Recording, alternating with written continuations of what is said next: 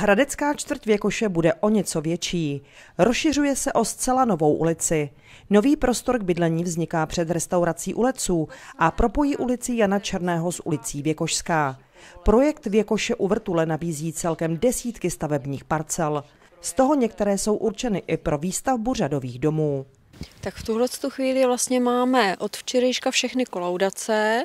Eh, včera nám bylo vydáno právomocné vlastně, eh, pravomocná kolaudace na eh, komunikaci. Máme sítě skolaudované a veřejné osvětlení. V tuto chvíli jsme nastartovali proces předávání vlastně komunikace a parcel zeleně městu Hradci Králové, aby se ta lokalita mohla dále rozvíjet tady.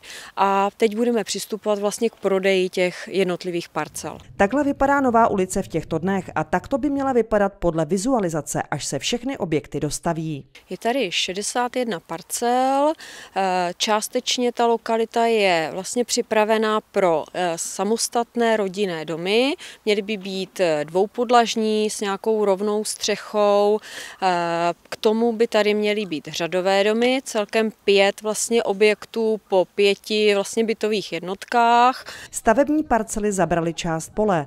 Zástavba se výhledově bude zřejmě ještě rozrůstat. Novým územním plánem je schválena na stranu k letišti pouze jedna řada bytové zástavby, eh, spíš se uvažuje, a to je i v územním plánu historicky dáno, že lokalita tady směrem k tomu zahraničí by měla být nějakým způsobem zastavěna. Město Hradec Králové v tomto směru vyvíjí poměrně intenzivní aktivity. Musím říct, že pan architekt Bruna se velmi zasazuje, aby ta lokalita nějakým způsobem měla hezký a, a takový ten moderní ráz. O stavební pozemky v této části východočeské metropole byl velký zájem. V tuto chvíli eh, to vypadá tak, že vlastně de facto máme poslední jednu parcelu, která je pouze v předrezervaci, jinak všechny parcely jsou rezervovány.